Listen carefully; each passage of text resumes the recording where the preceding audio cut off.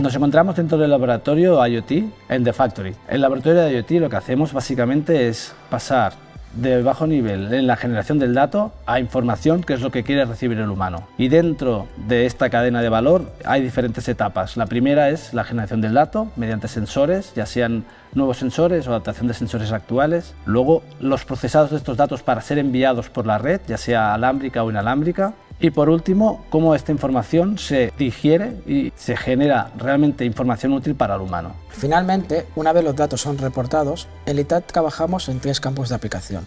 El primero, la capa de ingestión de datos, los pipelines, incluyendo las operaciones de extracción, transformación y carga, y la capa de interoperabilidad. Una segunda de automatización de datos, incluyendo los servicios de inteligencia artificial.